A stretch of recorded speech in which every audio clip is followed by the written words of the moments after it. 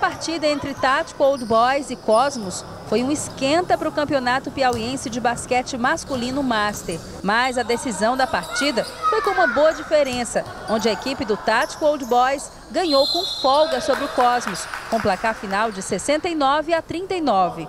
Para os atletas da equipe vencedora, a vitória nessa partida vem como estímulo para buscar os resultados ainda melhores nos próximos jogos do campeonato. A equipe ainda está pegando ritmo, se entrosando, até mesmo porque integramos o Old Boys com o Tático Caxias e formamos a equipe Tático Old Boys. Eu como capitão da equipe, Alan Kardec, e o Alan como técnico e um dos, dos integrantes da equipe também. Nós integramos as equipes formamos, chamamos o pessoal, são todos masters, 40 a mais, e é, acredito que a equipe é bastante unida, é bastante uníssona.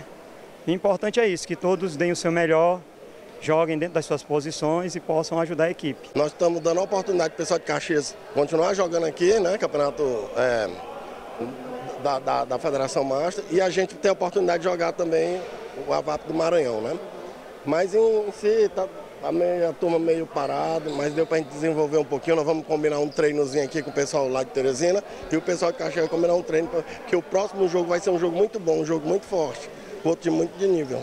E mais do que a busca pelo título, torneios e campeonatos que incluem categorias mais experientes, o Campeonato Master de Basquete é para os atletas a oportunidade de valorizar e mostrar que os mais velhos continuam na ativa. Basquetebol está dentro do coração da gente desde criança, que todo mundo se conhece desde criança, né?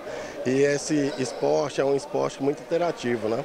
Fez com que voltar muita gente que está parado certo? E voltar aquela alegria de novo dentro de quadro, relembrar os amigos.